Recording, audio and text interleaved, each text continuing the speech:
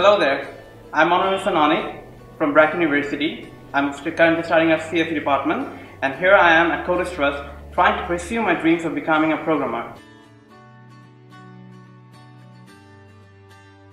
Before coming here, I used to work at Upwork for the last two years and in that time I worked on 100 different projects with clients from 15 different countries all over the world and I really had a great feedback score. But after coming here, I decided to take a break to allocate my time to learn here and uh, to allocate my time at my university studies.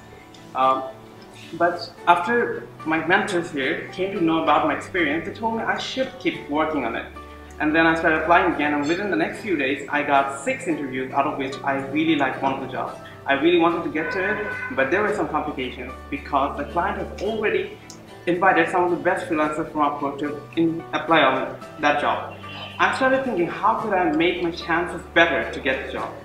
Uh, then I came up with an idea. I took him to Skype and I started communicating with him. And I took a deeper look at the job description and I saw that he really liked two websites that he mentioned that he wanted his website to look like one of those. And I told him that I could create an exact replica of that website. And he told me, well, fine, if you can create just the homepage of one of these websites, then the job is all yours. I worked at it for the next week, for, for a week or so, and um, I managed to create a site that was looking even better. I created some uh, new features and I added that to the site to make it look even better and he really liked it. I surpassed all the other candidates and I finally got the job. I really liked that. That was a really good experience for me.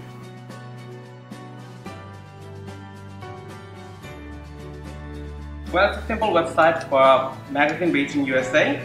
First let me talk about the client. Well, he's one of the best clients I've ever worked with in my two years of experience. But this is because, let me give you an insight of how good he is. He started by paying me a $750 advance without even discussing anything, just to start the contract. And after that, he funded another $750 for me to withdraw as soon as I'm done with the initial layout. And after that, he also said that he's gonna give me a $500 extra bonus if he ends up liking the site. So he's like one of the best and even after knowing all that, if you think that he's not one of the best, I don't know how to trust you. And um, let's, let's not talk about the project. Well, it's just the starting phase right now. Um, he's not sure what to add and what not to, so he's working that out. And in the meantime, I'm showing him some designs to choose from, some uh, layouts, and he's working on a logo. Uh, after he's uh, done with the logo, I can work on the color combination and final layout, and that will end the project. The main reason I joined Coders is to get a better shot at my future. Well, uh, more often than not, when I'm working at a project or I'm applying for a job, I get stumbled by something that I can't do because of my lack of skills and experience in uh, something like PHP framework, etc. I'm here at Coders Trust to learn the advanced development skills that I need.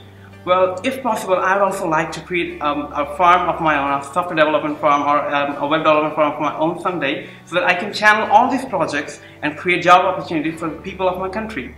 I would like to make an impact, no matter how small it might be. Thanks.